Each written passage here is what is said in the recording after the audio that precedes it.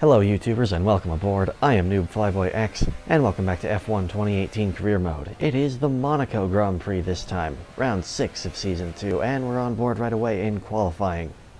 Coming through the final couple corners here, we're going to set our first lap time here. Kimi Raikkonen's 111.9 is the time to beat at the moment. Across the line we go, and we are 0.9 seconds down on that time. Not great, but it's only the uh, first lap we do coming through on our next lap to try to improve that time. Let's see, we're up by about two tenths, and there we go, we improved to seventh. So that's looking pretty good. With that, here we are at the end of uh, qualifying one, and we've come through in 12th position, which is pretty darn good. That'll get us through pretty nicely. Stroll, unfortunately, is out in Q1. He's got a five second or a five place penalty, as does Max Verstappen for some reason. I think they must have changed out a gearbox or something some engine component or other. Here we are in um, Q2. Coming through here, we're doing pretty well on our previous time, but that uh, even that improvement doesn't help us much.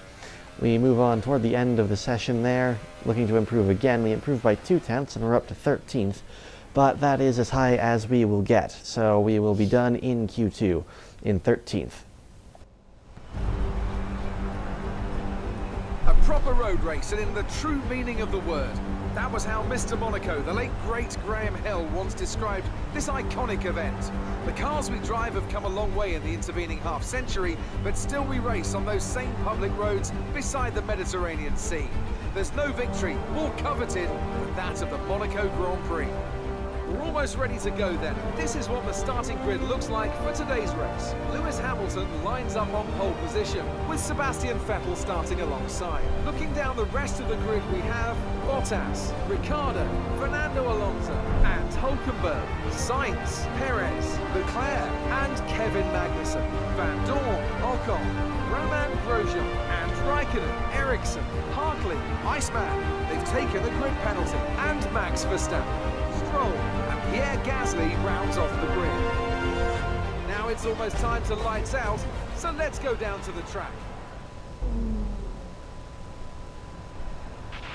No heroics into Saint-Devote, please. We're in amongst the pack and just need to stay in one piece.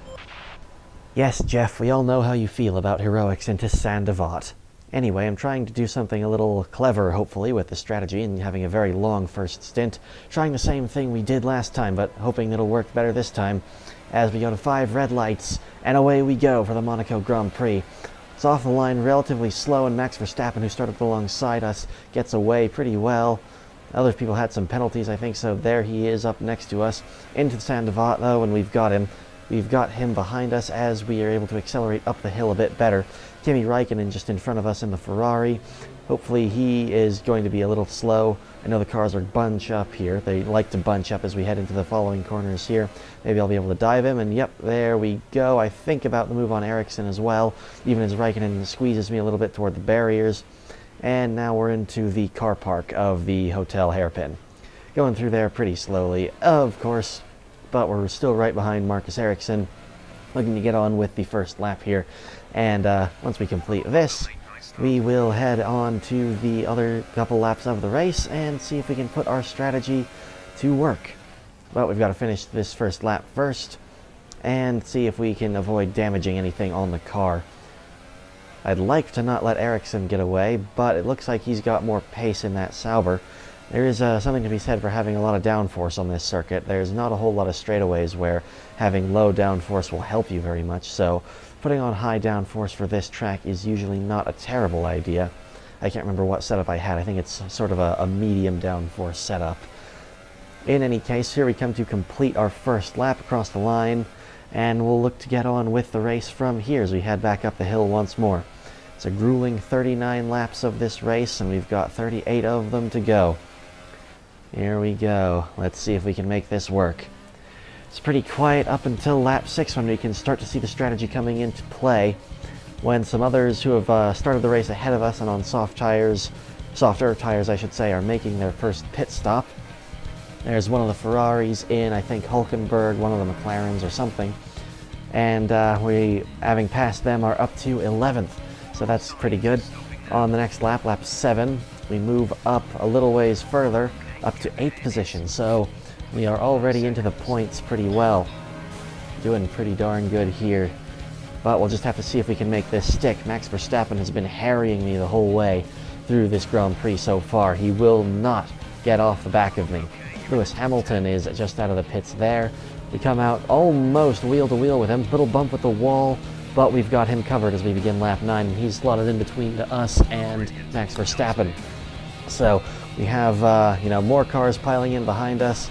This is exactly what I want from the strategy.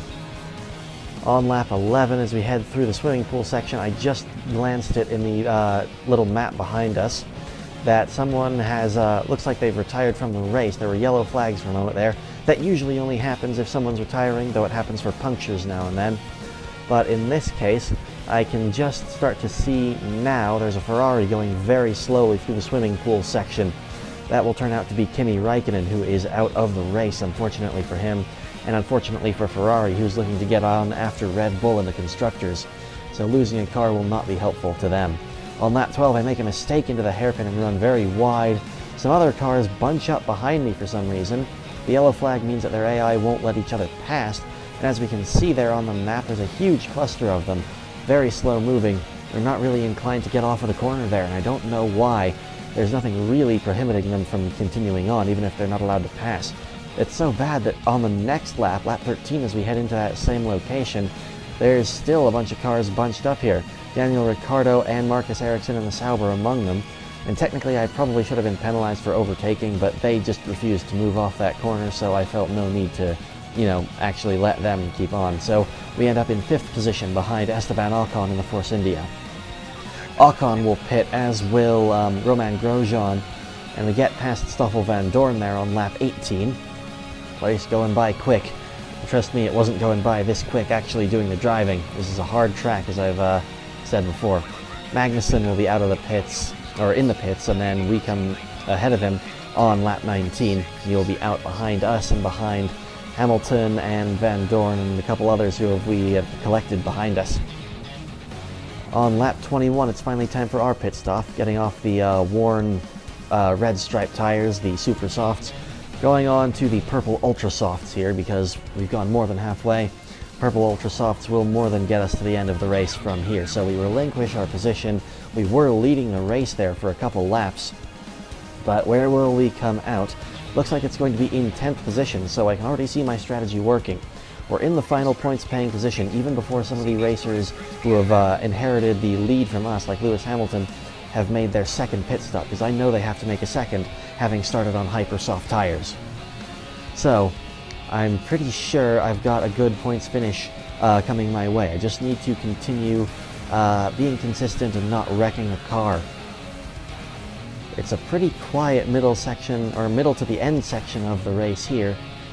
On lap 23, we can see there is absolutely no one in front of us for a little while, and no one behind us for quite a ways either as we head through the swimming pool section there.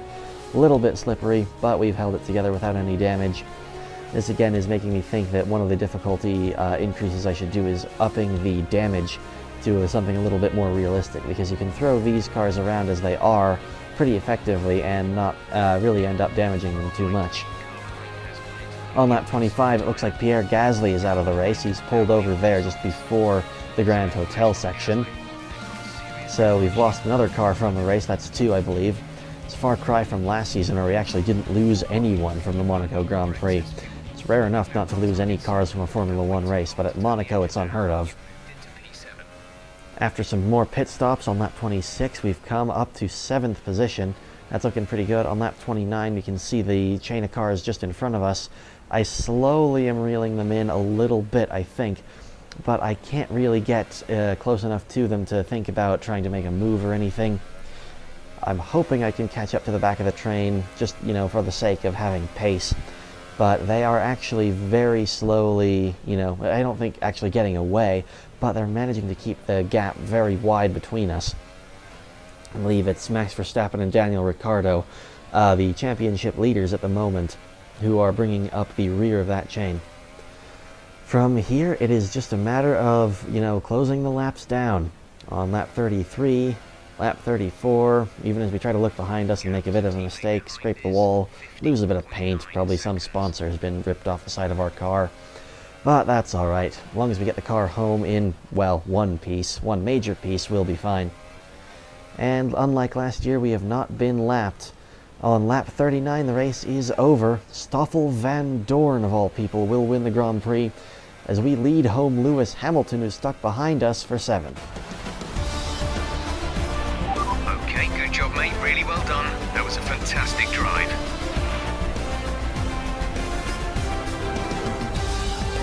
Our drivers are making their way out for the podium celebrations, and it's going to be McLaren picking up the winner's trophy. Congratulations to the entire team for that fantastic performance. So strategy trickery today has worked in our favor at Monaco. So we have, uh, you know, a successful points finish, and as a result, we've ended up with a very strange podium. Haas has a double podium for the first time in its history, and McLaren are on the podium, not only on the podium, but are winners for the first time, I think, since 2013, when uh, I think Jenson Button had a win. Though I could be, that could be 2012 actually, as far back as that. But uh, that's a pretty good race for us compared to, you know, what I had last season especially. We've continued our uh, objectives of beating our performance in the previous season's race, but um, eh, it still could have been better, I think. Still need to get some pace in myself and into the car. Lance Stroll showing the potential of the car a little bit. He moved up from uh, pretty much dead last on the grid to 12th, so that's quite good for him. But that's a very difficult race done with for us. Up next will be the Canadian Grand Prix, a scene of our best finish last year. That's going to be a difficult one to match, but thank you for watching. Hope to see you then, and have a nice day.